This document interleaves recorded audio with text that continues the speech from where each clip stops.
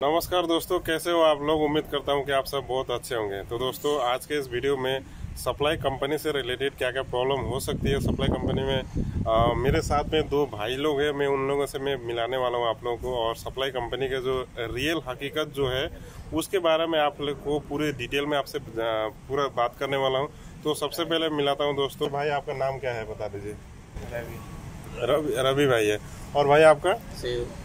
शिव कुमार भाई है आपका। तो रवि भाई आप लोग सप्लाई कंपनी में कब कितना साल हो गया आप लोग मेरे हो गया दो महीना दो तीन महीना। दो तीन महीने अगर नए भाई लोग आना चाहते हैं तो आप सप्लाई कंपनी में आने के लिए उन लोगों को क्या बोलेगा सप्लाई में? हम्म, हम्म। सप्लाई में क्या बोलेगा क्या नहीं बोलेगा? एजेंट लोग बोल देता है कंपनी है ये है। बोलेगा कंपनी है ये है दुनिया भर के फंसा देगा। हम्म, बाद में बोलेगा वहाँ जाने के बाद इधर उधर भाग के काम करना पड़ता है। कोई दस दिन कोई बीस दिन कोई मिलेगा कोई नहीं मिलेगा। अच्छा थोड़ा अगर जिस तरह से भाग के काम करना का मतलब क्या है? मतलब एक जगह नहीं है स्थिर नहीं है? नहीं स्थिर की जगह है। स्थिर नहीं रहता ना आदमी। एक अच्छा। जगह स्थिर नहीं रहता है। कभी इधर कम भागना पड़ता है कभी उधर भागना पड़ता है। दस दिन इधर एक महीना उधर दो महीना उधर। अच्छा तो आपका जो झोला है वो रेडी होना चाहिए? रेडी होना चाहिए any time any time ready होना चाहिए। तो मतलब आपका जो जैसे कि कंपनी ने बोल दिया चले जाओ आधी रात को भी निकलना पड़ता है। हाँ, हाँ वो कंपनी बोलेगा यहाँ जाओ वहाँ जाओ तो काम करना ही पड़ेगा काम नहीं करेगा तो भाई कैसे चलेगा? अच्छा। जैसे मान लीजिए रवि भाई जैसे किसी दिन में अगर कंपनी के पास काम नहीं हुआ आप रूम में बैठ गए तो क्या उसका पैसे भी देती देती है? अगर अपने बैठेगा हम्म। तब नहीं देगा। अगर हम्म। कंपनी बैठाएगा तो ज़रूर देगा। अच्छा अच्छा अच्छा। पर घंटा एक घंटे का कितना मिलता है? पाँच रुपये पकड़िए। पाँच रुपये पाँच रुपये। मतलब जो एवरेज नए आदमी के लिए पाँच रुपये देते हैं। हाँ, पाँच रुपये पकड़िए। पाँच रुपये पकड़िए अच्छा अच्छा।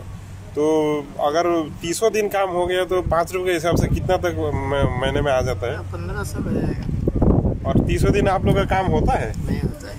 नहीं होता है? नहीं होता है। अच्छा तीसों दिन तो होता है नहीं। कंपनी में अगर जैसे यही तो फ़र्क है अगर किसी कंपनी में चले आते हैं तो वो तीसों दिन का सैलरी मिलता है। हाँ। लेकिन अगर आप सप्लाई कंपनी में फंस आते हैं तो किसी दिन ड्यूटी नहीं है किसी दिन दो दिन बैठ गए चार दिन बैठ गए तो फिर आपको वो उसका सैलरी जो है डिडक्ट हो जाएगा मतलब कटिंग हो जाएगा। में जाने के लीव सैलरी वगैरह मिलता है आप लोगों को? सप्लाई में नहीं देगा। सप्लाई में नहीं देगा?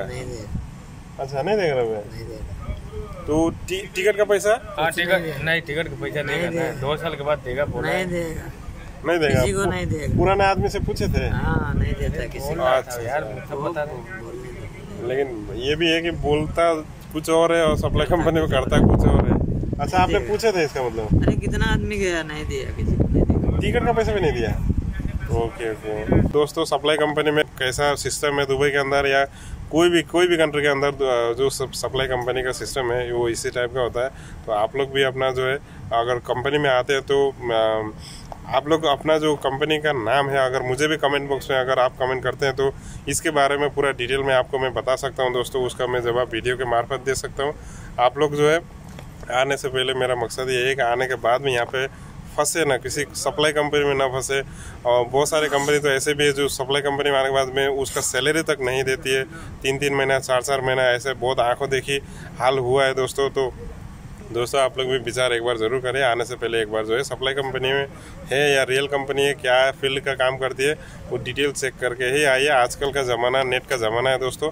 आप लोग जो है अपना डिटेल पूरा, अपना कंपनी का नाम मुझे कमेंट में भी आप लोग कर सकते हैं। तो इस तरह का सप्लाई कंपनी में फंसने से आप पहले जागरूक ज़रूर होइए दोस्तों। तो मिलते हैं नेक्स्ट वीडियो में दोस्तों। आप लोग का वीडियो बनाने का मतलब यही था कि आप लोगों को कुछ इस वीडियो से कुछ हेल्प हो सके। तो मिलते हैं नेक्स्ट वीडियो में। जब तक के लिए मुझे इजाज़त दीजिए। नमस्कार।